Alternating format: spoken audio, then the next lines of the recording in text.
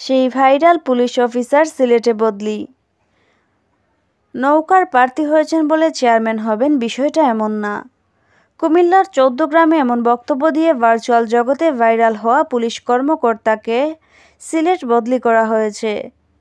কুমিল্লা জেলার দাউদখান্দি চান্দিনা সার্কেলের সিনিয়র সহকারী পুলিশ সুপার মোহাম্মদ জুয়েল রানাকে রবিবার বাংলাদেশ পুলিশের মহাপরিদর্শক ডক্টর বেনজির আহমেদের সই করা এক প্রজ্ঞাপনে সপ্তম এপিবিএন সিলেটের সহকারী পুলিশ সুপার হিসেবে বদলি করা হয়।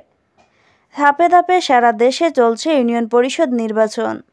এ নির্বাচন উপলক্ষে সম্প্রতি কুমিল্লার চৌদ্দগ্রামে ভোটারদের সচেতনতামূলক একটি পুলিশিং সভায় সহকারী পুলিশ সুপার মোহাম্মদ জুয়েল রানা বলেন, নৌকার প্রার্থী হয়েছেন বলে যে চেয়ারম্যান হয়ে যাবেন বিষয়টা এমন না।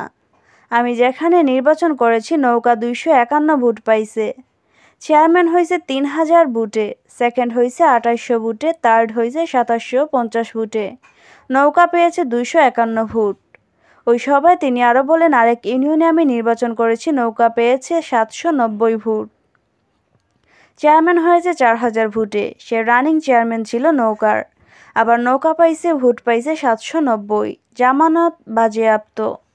বক্তব্য প্রদানের পর সেটির ভিডিও ক্লিপ সামাজিক যোগাযোগ মাধ্যম ফেসবুকে ভাইরাল হয়ে পড়ে। এ নিয়ে মিশ্র প্রতিক্রিয়া সৃষ্টি হয় ভার্চুয়াল জগতে। পক্ষে বিপক্ষে শুরু হয় মন্তব্য। এরই মাঝে জুয়েল রানাকে বদলি করা হলো সিলেটে।